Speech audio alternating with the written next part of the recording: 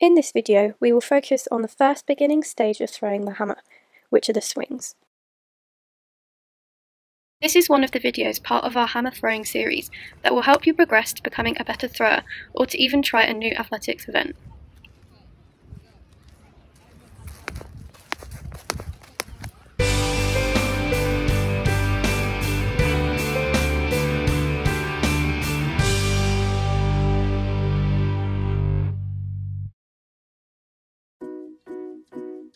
Swings are one of the fundamental stages of throwing.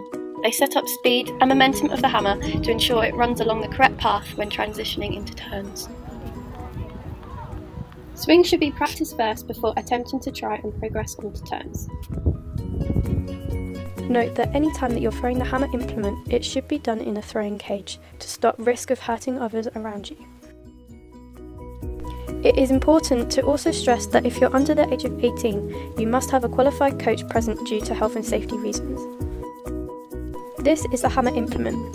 For this activity, choose a lighter hammer to get started. You do not need a hammer glove for this activity, as we will not be throwing very far. However, if you would like to wear one, you can. We recommend that you use 1k down from your normal weight. For example, if your age group throw a 4k hammer, Throw at 3k as this will help you get used to swinging with the weight. If you're unsure of what your age group throw, check out these lists for men and women of all different age groups. So now let's get on to the exciting part.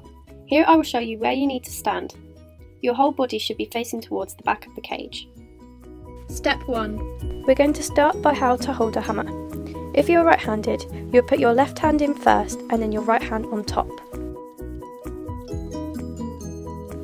If you're left handed, it will be right hand first and then left. Step 2 Feet must be shoulder width apart and legs bent to ensure that you have a stable balance. If you do not bend your legs and you start swinging the hammer, the weight of the hammer will pull you out of the circle and move you around. So it's much better if you bend your legs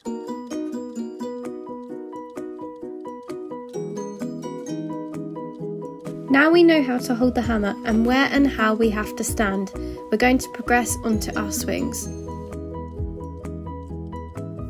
Step 3. Right-handed throwers will swing the hammer in an anti-clockwise direction. Left-handed throwers will swing the hammer in a clockwise direction. Ideally, you should only swing the hammer round three times. Any more than that, you will lose control of the hammer. The key is for the swings to be nice and controlled and not Speedy Gonzales. When the arms are at its highest, just above your head, you should be able to see through the gap in your arms. We call this looking through the window. When the hammer is in front of you, you must have straight arms. If you are left-handed, it might be easier to throw the right-handed way. This is because when you start transitioning into the turns, you will go over to your left. It will also help when you deliver the hammer as you will have a decreased chance of hooking the hammer over the foul sector line. Step 4. Each swing, the hammer should reach a high point and a low point. When it's reached its highest point and swoops down to the low, the hammer is at its fastest. Progressing on further, this will be a really important step when introducing turns. Here are some of the common errors. In this clip, you can see my arms are bent. Arms must be nice and straight to ensure the hammer travels in the correct path. Helicopter swings is another common mistake in beginners. This is because you are swinging above your head only and not letting the hammer sweep down into its desired low point. Here, my legs are also straight, so make sure that they are bent. Once you feel confident, have a go at chucking the hammer onto the grass. You may end up with some of your hammers hitting the cage, but at this stage it doesn't matter. Practice makes perfect. You'll get better and better with time. Here's a quick recap of what you've learnt about swings in this video. Step 1. How to hold the hammer. Step 2. How you should stand and give yourself some balance. Step 3. Direction of the hammer. And finally, step 4. The high and the low point. Just have fun. It takes a while to get the swings right, and don't worry about the distance. That will come when the technique is right in the circle. Thanks for watching. If you liked the video, hit the subscribe button and check out some of our other great videos. To find out a little bit more about us, check out our website and social media pages on screen.